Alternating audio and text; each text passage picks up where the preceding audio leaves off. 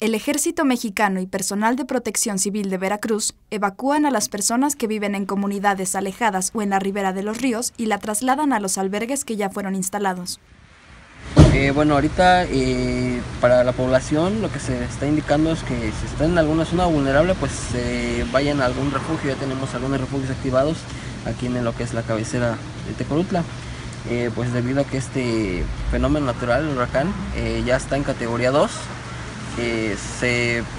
pues, se prevé que digamos, antes de tocar tierra llegue a alcanzar categoría 3 con rachas de unos 190 kilómetros por hora más o menos.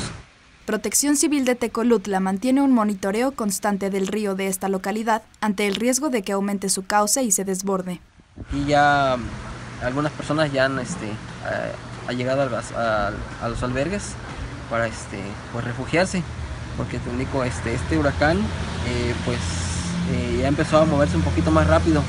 ya este avanzó un poco más rápido, entonces ya su zona su hora de impacto ya no sería la madrugada del sábado, ya estamos hablando más o menos de que sea antes de medianoche,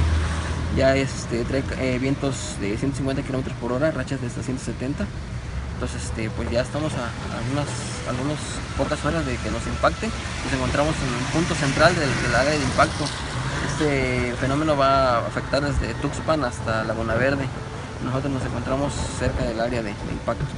Autoridades de la entidad exhortan a la población a buscar el refugio más cercano a su domicilio y para quienes no lo ubiquen pueden consultar la página de internet.